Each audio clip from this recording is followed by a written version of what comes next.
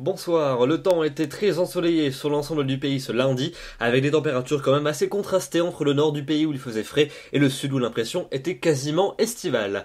Euh, ça sera d'ailleurs le même programme pour votre journée de mardi, on découvre la carte pour la matinée, avec un temps à nouveau très ensoleillé sur la quasi-totalité de nos régions, quelques cumulus comme aujourd'hui en allant vers les frontières du nord-est, quelques plaques de grisaille également euh, pour la côte d'Azur et pour les littoraux de la Corse, et puis notez aussi le Mistral qui va souffler assez sensiblement dans la vallée du Rhône, des rafales jusqu'à 80 km à l'heure. Et puis également pour le vent, cette petite bise de secteur est qui va venir rafraîchir l'atmosphère euh, sur les régions du quart nord-ouest.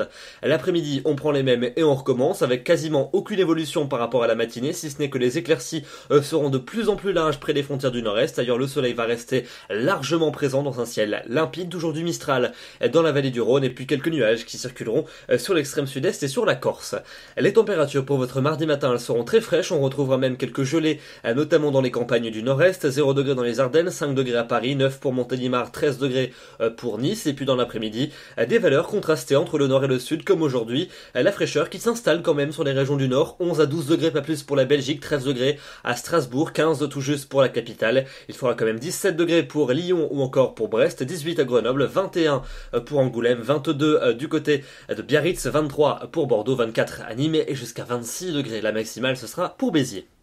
La suite de votre semaine, mercredi, un temps royalement ensoleillé, quasiment aucun nuage à l'horizon sur l'ensemble du territoire, euh, un peu plus de nuages quand même en cours d'après-midi à prévoir sur l'extrême sud-est avec une petite ondée possible euh, pour les Alpes-Maritimes et pour la montagne corse. Les températures elles resteront euh, contrastées entre le nord et le sud, mais elles remonteront quand même au nord de la Loire.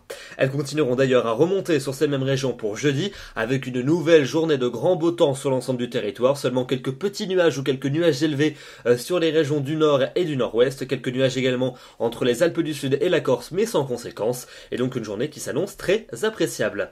Tout ceci avant une dégradation pour la fin de la semaine, avec vendredi des nuages qui vont s'infiltrer sur la moitié nord, ils pourront engendrer quelques ondées. Dans le sud, toujours du soleil avec une très grande douceur. Pour samedi, l'instabilité va se généraliser avec un risque d'averse qui euh, s'étendra à la plupart des régions. Il sera généralement plus marqué euh, pour la moitié est. Les températures fléchiront légèrement. Et puis pour dimanche et pour lundi prochain, l'indice de confiance est en baisse. Là, on affinera bien évidemment ces prévisions, mais a priori, le risque d'averse va se généraliser avec une atmosphère plus instable, des températures un petit peu moins élevées que précédemment, notamment pour les régions du sud. Évidemment, on affinera tout ceci dans les prochains bulletins.